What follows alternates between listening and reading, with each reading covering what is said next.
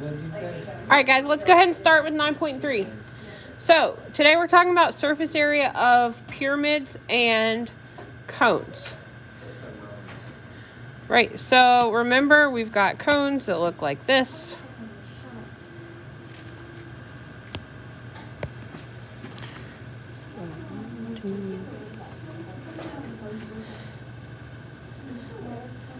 All right, and then we also have pyramids. Let's go with this one. That's just the only picture I have of a pyramid easily available. But all right, so we've got basically the same kind of concept as we did with surface area of prisms and cylinders. Um, but these, I think, honestly, are a little bit easier because there's just one less step, sort of. So the surface area of a pyramid is going to be the lateral surface area plus the area of the base. Right? Since there's only one base for these, we don't have to multiply it by two. Yes, that's for a pyramid.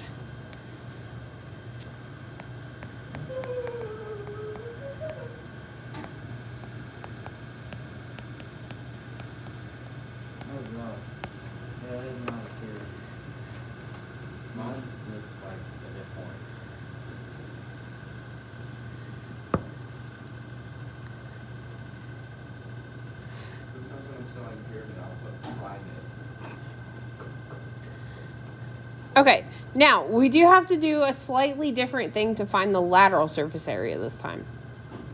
Very slight difference, but all right.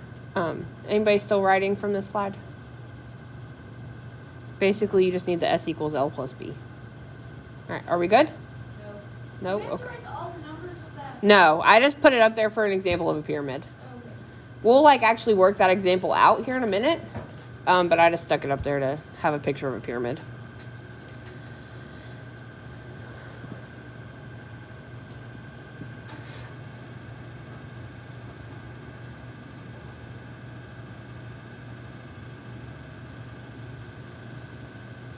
Okay, are we good now?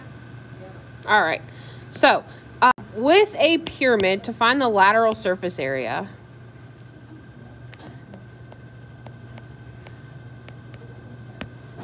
So the lateral surface area is the perimeter of the base times the slant height, which we'll talk about in a minute, divided by 2. So this is the perimeter of the base.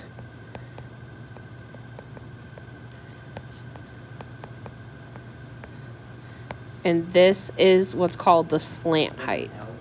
Yeah, it's like a cursive L. I mostly. It's just like a cursive L. That's what I drew it as. Mostly because if I don't do it that way, my L's look like ones. Um. So, like in that picture of the pure, so the slant height is like from the vertex to like one of the like the edges. Um. So, I'm not good at drawing pyramids, so I'm not going to. Um, I'm just going to pull that same picture back up. So like in this one, I know I'm zooming this in a lot, but like see how this, like it goes from here, like and it's the slanted side? That's going to be your slant height. So it's like the height of one of the triangles that makes up the pyramid. Does that make sense? Yeah. So it's like the diagonal height. So that's the one time that height is going to be slanted. That's your slant height. Yeah, that's your slant height. So again, slant height is going to be this part here. And then the perimeter of the base, remember you just add up all the sides of the base. So you would add up those six sides. Okay, so let's go ahead and just like work this example through. Okay, so I'm just going to shrink that a little bit. We'll make this a little bigger so we can see. Okay, so let's go ahead and find our lateral surface area.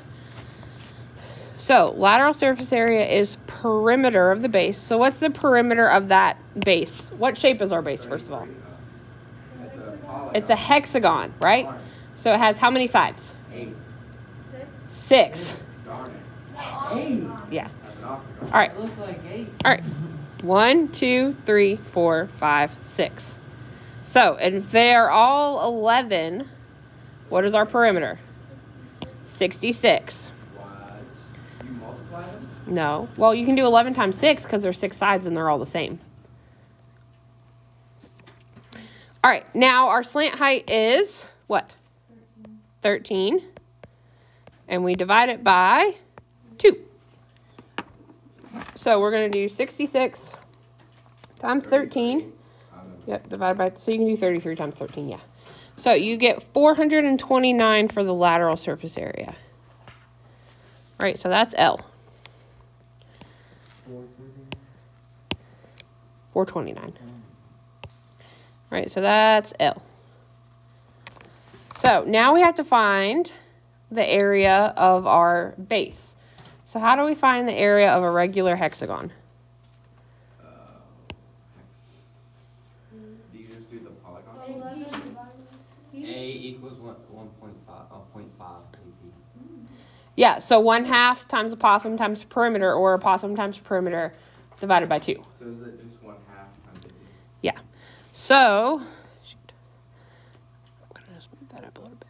All right, so we know the perimeter already, right? So we're finding the area of the base now. So it's A P divided by 2. So what's our apothem? Uh, line, nine point five. Yeah, so it's 9.5. It's kind of hard to see. Yeah. Um, so the apothem is 9.5. What's our perimeter? 66. We already found that. Divided by 2.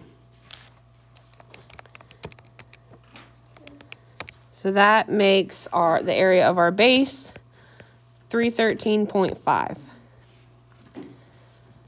All right, and so what do we do to find our total surface area for a pyramid? Yeah. So we're just going to add the two together. So S equals L plus B. Um, I need a new color. Let's go with This is easier than the it is, I think. And on really though, you guys have a good concept of like lateral surface area, area of the base, like of finding that now that you've done it with the prism so much. Um, this is one of those chapters that starts off a little bit more difficult and it gets easier as it goes. So S equals L plus B. So we're doing 429 plus 313.5. Yep, 742.5.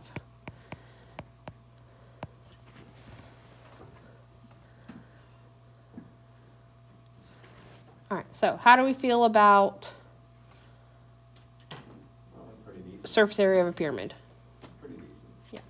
Is it gonna be the same for Um, basically, but we're just going to use circumference instead of, um, Circle, right? yeah.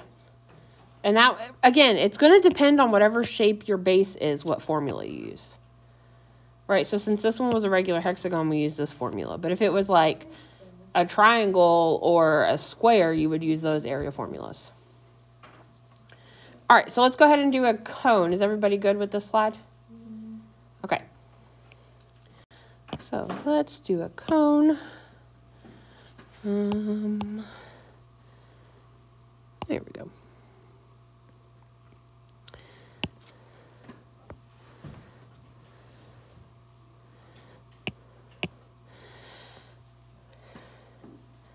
All right, so here's our cone that we're going to use. Can everybody see that okay? Yeah, well, we're going to like talk through it and do the example kind of at the same time. So the lateral surface area of a cone is going to be circumference times slant height divided by 2. So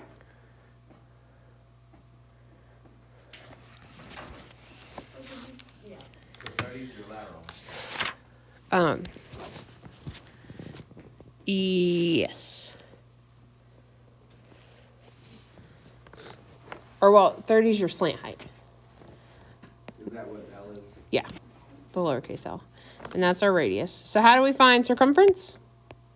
Two, five, wait, I, So it's going to be 2 times 13 times pi.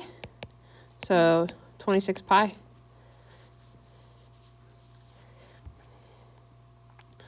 And so now we can use that to find L. So it's going to equal 26 pi times 30 divided by 2. Do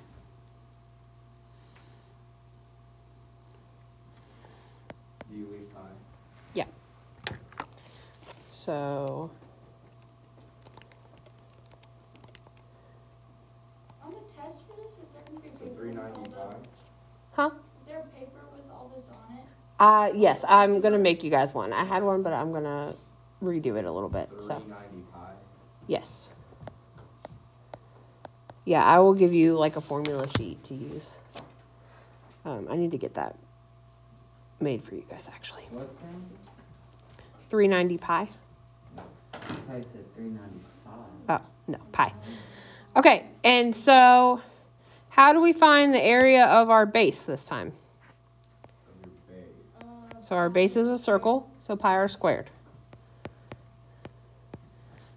So it's going to be 13 squared.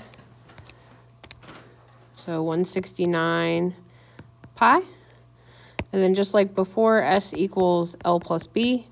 So we're going to add 390 pi and 169 pi. So it's the same thing for some. Yep. So it would be 559 pi. And we found the surface area of cone. Easy. hmm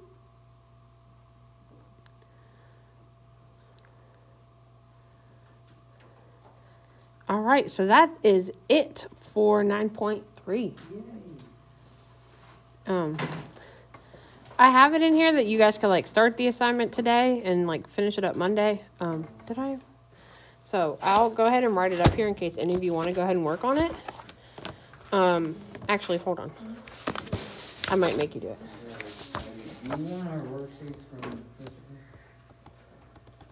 Um, we'll check those. Yeah. Actually, I never got one of those worksheets. yeah, that's I. I know you were working on the other one, so I excuse you from. it. So you're fine.